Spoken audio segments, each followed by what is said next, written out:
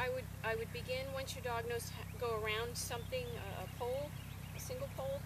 Um, I turn a jump uh, at this angle and have the dog wrap. Um, this one, and I'm just showing you how to use the tennis ball um, as the reward to help you go dog.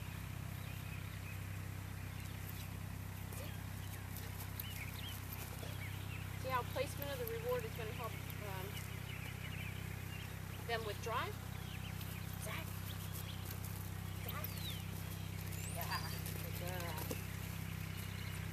Increase their enjoyment. Zach.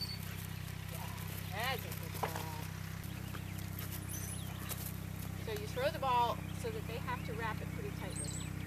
Come on, dirty, dirty.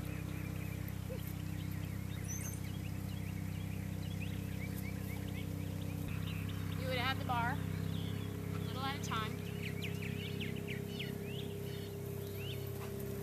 Easy.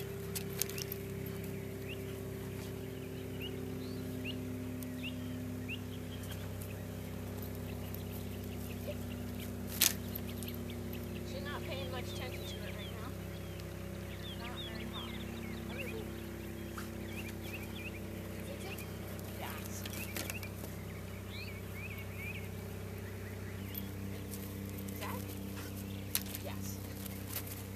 Girl. You wouldn't be lifting this um, this fast. You'd be lifting it um, once they become proficient at one height, then you put it up one one notch at a time.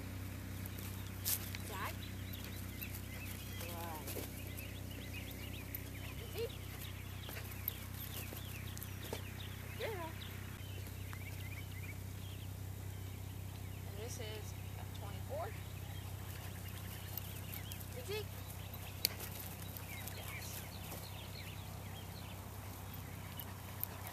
Not going to jump like the border collies, that's okay.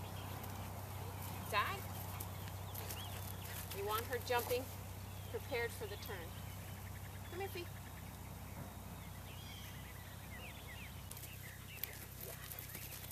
Good girl. Come here, Fee. Yeah. Good girl. See how she's landing with the right, correct lead. And then you're going to apply it to the jump in the other direction. Yeah.